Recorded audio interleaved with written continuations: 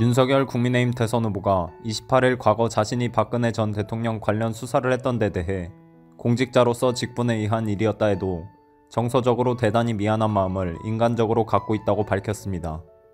윤 후보는 이날 오전 서울 양천구 목동 방송회관에서 열린 한국방송기자클럽 초청 토론회에서 제가 당시 박 전 대통령 탄핵 이후 구속 조치된 것을 담당하지는 않았지만 원인이 되는 삼성 사건을 저희가 했고 중앙지검 담당이 된 후 몇 가지 여죄에 대해 수사했다며 이같이 말했습니다.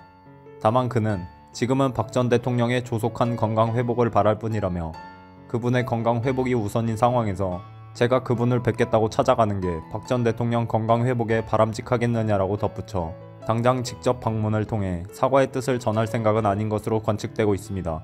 이뿐 아니라 윤 후보는 이명박 전 대통령에 대해서도 전직 대통령에 대한 사법 처리라고 하는 것이 국민 통합엔 대단히 부정적이다. 과거 노무현 전 대통령에 대한 검찰 수사가 있을 때도 수사팀이 저한테 어떤 의견을 물어오면 저는 하여튼 조속하게 처리하고 무리는 안 하는 게 좋다는 얘기를 했다며 이전 대통령도 박 전 대통령보다 더 고령이고 건강 상태도 좋지 않으신 것으로 알고 있는데 현재 여론조사만 갖고 판단할 게 아니다라고 사실상 사면 찬성 입장을 내비쳤습니다.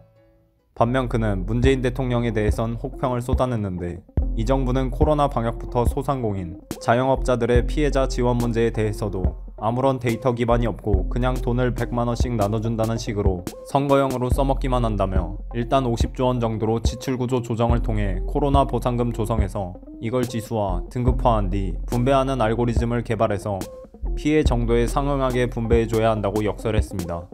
이에 그치지 않고 윤 후보는 집권 후 170석 넘는 거대 야당을 어떻게 상대하겠느냐는 질문엔 지금 문정권이 국회 180석 갖고 있다고 해서 국민들이 성공한 행정과 정치를 했다고 인정하느냐 오히려 무도하게 마음대로 하다가 국민들의 외면만 받게 됐기 때문에 여소야대라는 게 나쁘지 않다며 궁극적으로는 행정부를 진 쪽에서 얼마나 소통하려고 노력하느냐에 달려있다.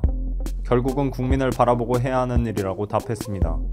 또 윤 후보는 민정수석 제도는 대통령 측근에 대한 통제를 위해 만들었지만 세월이 지나 변질되면서 대통령이 민정수석을 통해 사정기관을 장악해 정치적 반대 세력을 합법을 위장해 통제하는 경우가 비일비재해졌다며 내각과 행정부 일들이 헌법과 법률에서 벗어나지 않게 하기 위한 스크린 조직은 두더라도 사정기관을 관장하는 조직은 대통령실에 두지 않겠다라고 강조했고 배우자 대응 차원 아니냐는 지적엔 제 처에 대한 얘기가 나오기 전부터 선대위와 이미 얘기했던 것이라고 목소리를 높였습니다.